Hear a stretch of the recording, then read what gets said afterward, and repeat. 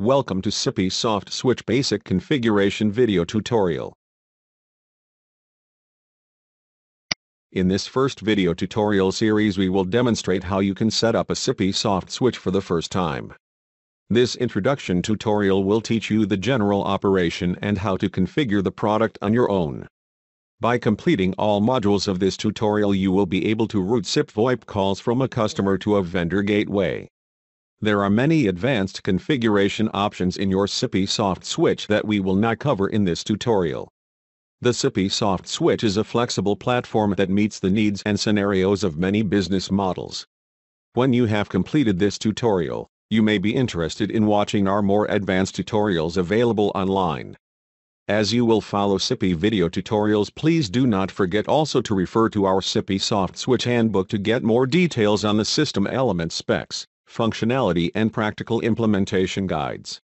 So, let's start with basic configuration training. Before configuring your soft switch we will introduce each video tutorial module of basic configuration process. To start configuring you need to log in the Sippy soft switch system. As a new Sippy customer you receive a welcome email, which contains the IP address and user credentials that you will use to log into your Sippy switch for the first time. The procedure of login is shown in the first module of the basic video tutorial. First thing you need to do for configuring the soft switch is to provide your credentials, namely to create or reset your login name and password as well as specify some key preferences of the interface such as language, base system currency and so on. This is done at My Preferences page of the soft. You can grant access so that your team members can also securely access your switch. We will show how to add new users, set credentials for them and provide different level of user access to the system in this module. Next module covers vendors section of Sippy soft switch. We will show how to add vendors and set up main vendor related parameters. We will also set up web access to the vendor portal which will allow the vendor to log in and view call detail records relevant to them only.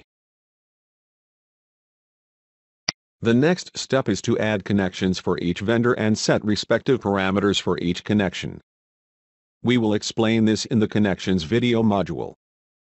Next in the destination sets video we will explain how to add destination sets.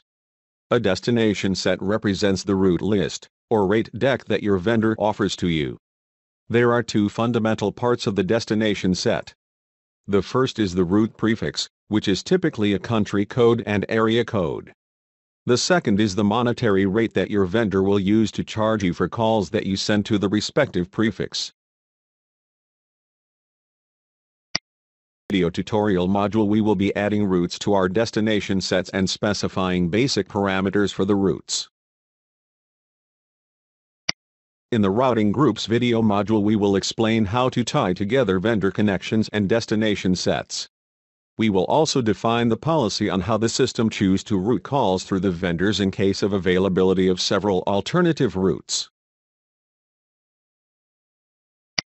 Previous video tutorial modules are devoted to main configurations related to vendors.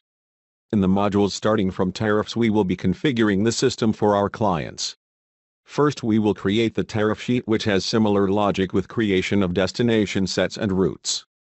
The distinction is that while the destination set specifies the pricing and other vendor-related parameters of the routes, tariffs controls the price we charge to our clients and other call parameters set to control the client's calls.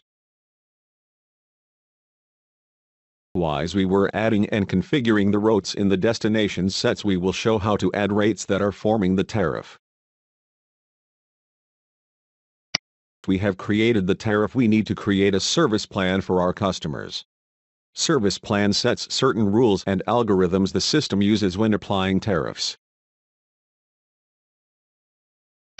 Finally, when we have all the settings described in previous video modules we are ready to establish an account or customer. Naturally the account needs all the settings we were showing in previous tutorial modules. Account is a single entity, or bucket with converged CDRs, bills and consequent invoice actual caller for which we will set a name, password and login to enter the system. Also we will show how to configure certain parameters that rule the process of the accounts call and assign a service plan and a tariff from those service plans and tariffs we established when configuring the system. After having completed the basic configuration process you can learn how to make your first call with Softphone and continue learning more advanced topics of Sippy learning system.